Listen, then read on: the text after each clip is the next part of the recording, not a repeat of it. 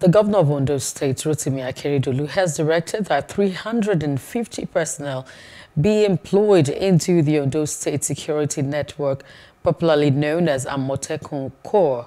They are to be deployed to the forests and bushes. Governor Akeredolu.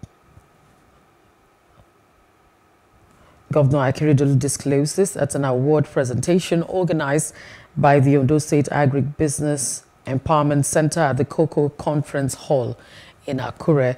He said that more operational vehicles and motorcycles would be purchased to aid Amotekun operations in the state. Amotekun has become synonymous with us, and our people have come to buy the idea because you know their worth. And And I can assure you, because of a lot of pressure on Amotekun, we have I've even given an approval that about 350 more corps members be recruited.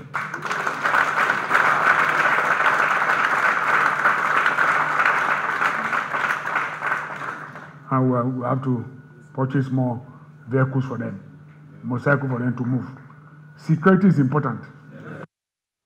Please do subscribe to our YouTube channel and don't forget to hit the notification button so you get notified about fresh news updates.